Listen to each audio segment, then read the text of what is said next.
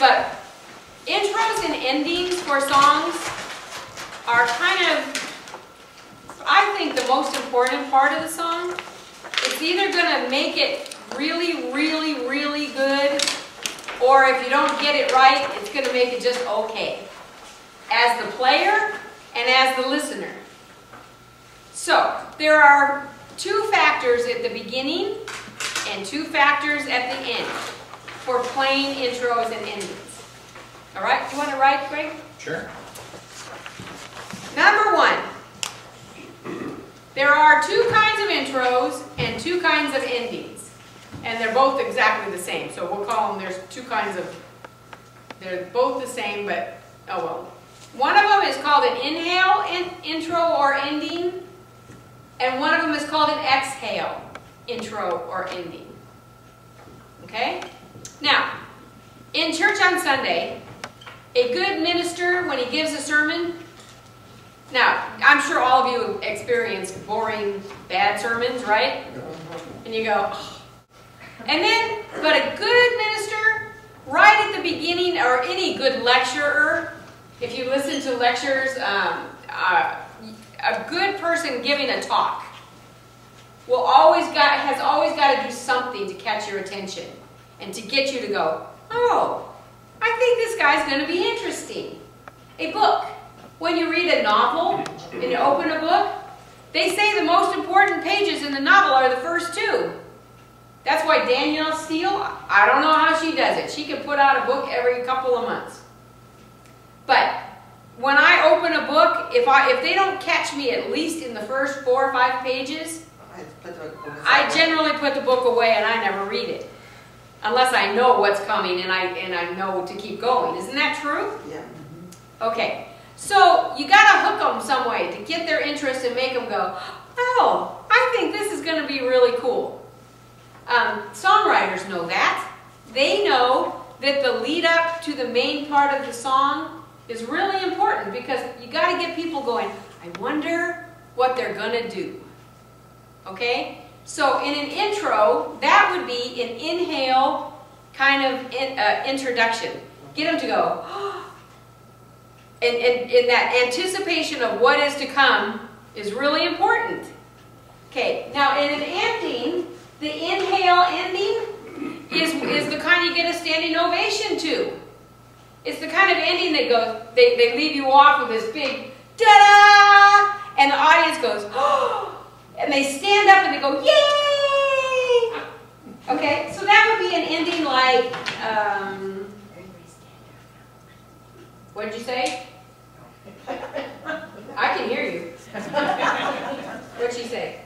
In the movie, Yeah, we're all gonna stand up beginning and a flat. good ending. Okay,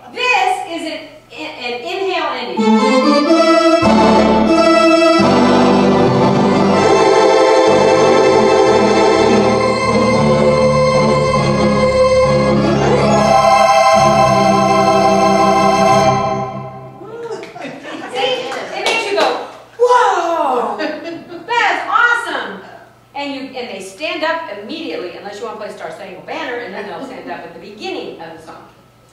An exhale ending or an intro, the exhale means it's one of those. So you go, that would be like.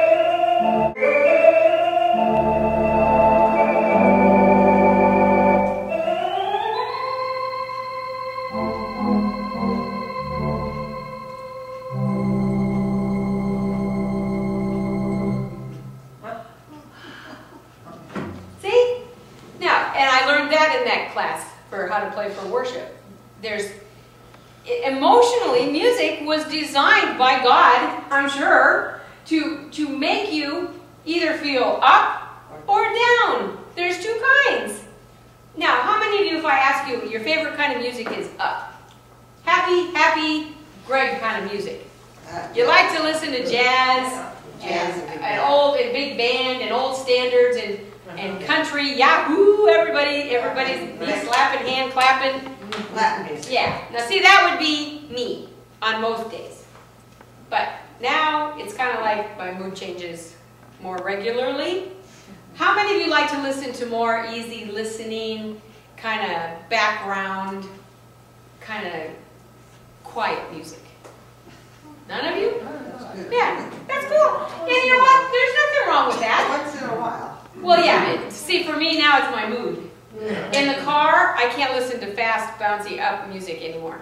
I get so riled up just driving around in a normal way with other people's driving habits. Yes. I need to listen to something more Elevator music.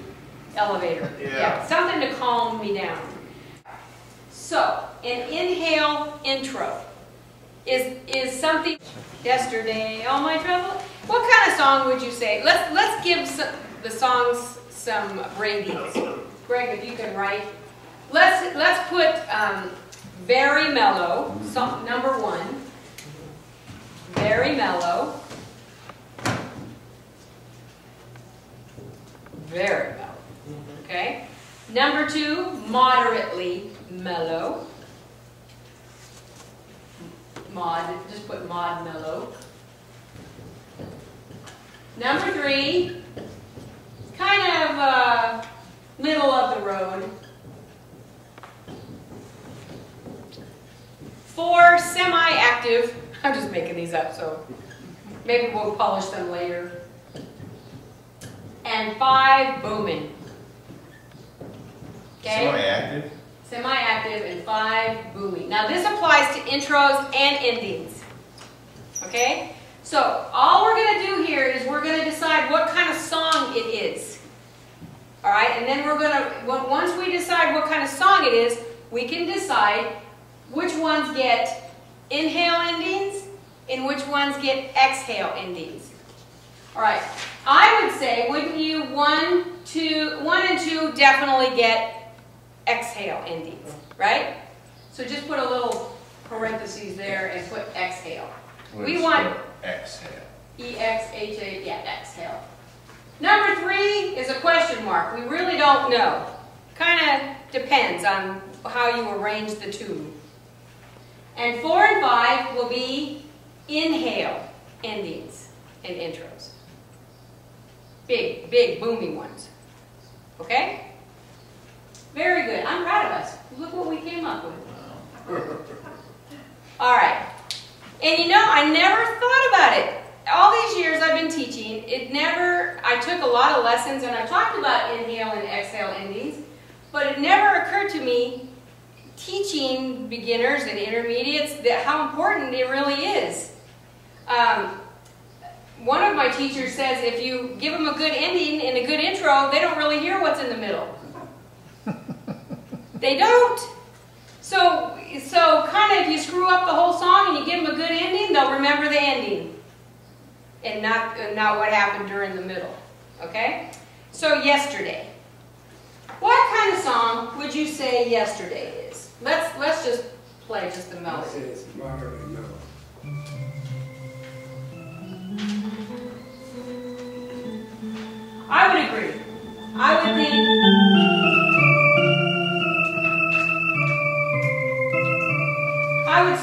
Probably number three, don't you?